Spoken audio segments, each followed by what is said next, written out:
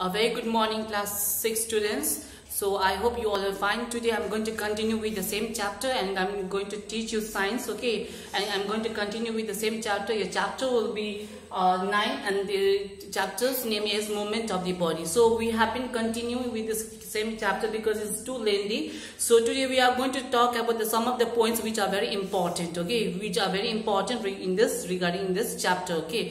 First of all, we are going to study about the movement, okay? And second thing is that we are going to study how by how vertebrates how vertebrates moves, okay? Now let's go to the uh, let's go to the book. Please take out the page number 77. Please take out the page number 77, okay? movement now most animals can move from one place to another this type of movement is called but locomotion that means the animals mostly the animals move from one place to another. Not only the animals but the human beings also it moves from one place to another in search of food shelter and all. Like animals in search of food shelter and all but it is known as the locomotion. That process is known as a locomotion okay? We also move different parts of our body to bend sit stretch turn and so on. So in our body there are so many parts are there. Yes or no? So each and every parts we we utilize it. We utilize in a proper way. That means whatever the movements uh, we whatever the movements we do there are the different parts of our body which have us to sit which have us to stretch which have us to turn. Yes or no? So it happens according to their particular function. Now let's go to another what makes movement possible are the joints. That means whatever you do whatever what whatever the kinds of muscle whatever the kind of uh, like uh, you movement you do it happens with the help of with the help of the what? It happens with the help of the joints and it helps with the help of the joints okay? So if our skeletons are made of one bone we would not be able to move. Imagine the arms without the joint and the elbow. You will not be able to bend it which would make even the simple tasks of putting food into a mouth impossible. That means if you think, if you just imagine that if your body is made only one single bone, that means with the help of one single bone, एउटा हड्डीले मात्रै बनाएको भए के हुन्थ्यो न band हुनु पाउँथ्यो न यसरी हिँड्नु पाउँथ्यो न के भन्छ चाहे नचाहिने चिजहरू गर्नु पर्थ्यो example I'm going to give you that if your hand this hand if is made of one bone if is made of one straight bone एउटा हड्डीको बोन स्ट्रेट बोनले बनाएको छ भने के हुन्छ? हामीले यो जुन चाहिँ हामी खाना खाँदैछौँ नि यसरी आरामले खाना किनकि आरामले खाना कसरी खाँदैछौँ? किनकि हाम्रो यो छ नि यो जुन चाहिँ यो जोइन्ट छ नि यहाँ दुईवटा हड्डी जोइन्ट भएको छ। त्यही कारण हामीले यसरी बेन्ड गर्नुपर्छ यसरी गर्न सक्छौँ तर अगर हाम्रो यो हात एउटा हड्डी सिधा एउटा हड्डीले बनाएको हामी कसरी खाना खानु? Is impossible to put the food inside the mouth. Yes or no? So these things happens these things happens if it is done like this. Okay now let's go to another point is that the ligaments which bends bones make it possible for them to move by stretching and re relaxing. The cartilage smoothing bones makes the bone smooth.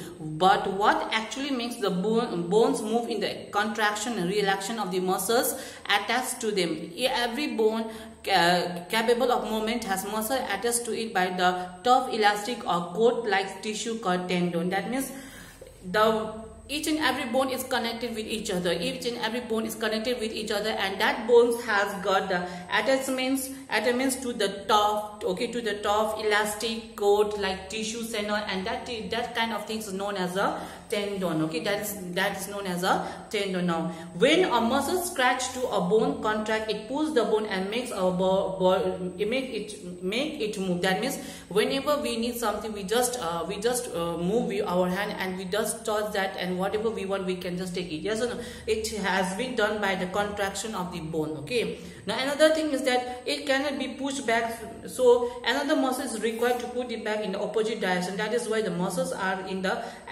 antagonistic pairs. That means the thing is that whatever the thing is done it is done in the opposite side also. So that thing is known as the what? That thing is known as the antagonistic uh, pairs okay? One muscle pulls a bone away from the joints while it uh, while it uh, while its partner while its partner pulls it back okay? This bicep and tricep in the upper arm are an example of such an angostonic pairs of muscle. The contractions of bicep pulls the forearm up while the contraction in the tricep pulls it back down. That means यो के छ जुन चाहिँ जुन चाहिँ अब आर्म्सहरूको पनि different kind of उयो हुन्छ जस्तै like bicep र ट्राइसेपले के गर्छ अप्पर आर्म्सको चाहिँ it helps to it helps to and and antagonistic pairs that means opposite डाइरेक्सनमा काम एकअर्कालाई अपोजिट डाइरेक्सनमा काम गराउँछ. But in the contraction of the bicep pulls the forearm up and the contraction tricep pulls it back down that means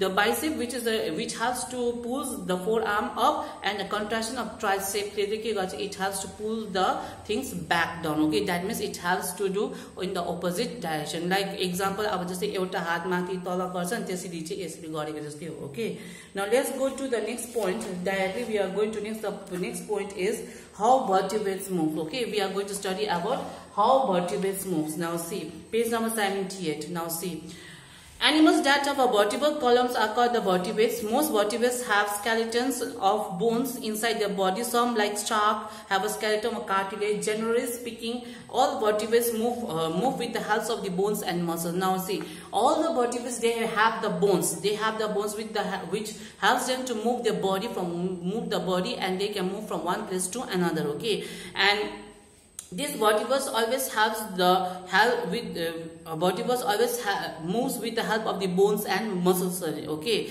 While we discuss the movement of this snake fish and birds is in a particular like snake.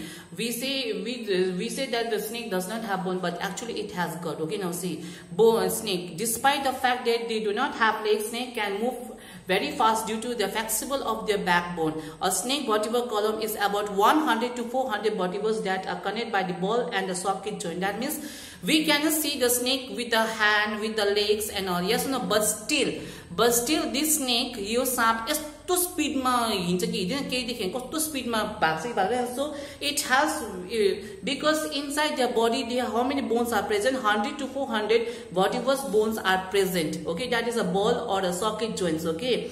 Each, each vertebra is connected to a pair of ribs which are also connected to the belly scale okay at the bottom strong muscle attached to the ribs vertebrae and belly scales are responsible or flexible of this of the body of the body that means there are some of the muscles are there some of the some of some kind of bones are there which has to be very flexible which has to be very flexible means जहाँ पनि उनीहरू चढ्न सक्ने जहाँ पनि जेमा पनि साइजमा उनीहरू यति दुलोमा पनि पर्न सक्ने जस्तै एक्जाम्पल हामी human being we cannot go in the small hole yes न हामी sun dulu no but this kind of animals can do okay because they had got how many bones 100 to 400 bone vertebrae bones are connected with each other okay the snake moves by throwing its body eh, it, eh, into loops and alternates. side. This wave of contractions passes down to the body and give forward thrust and the scale of the surface press down against the ground. That means अब त्यो के गर्छ भने चाहिँ जब ऊ यस्तो गर्छ it just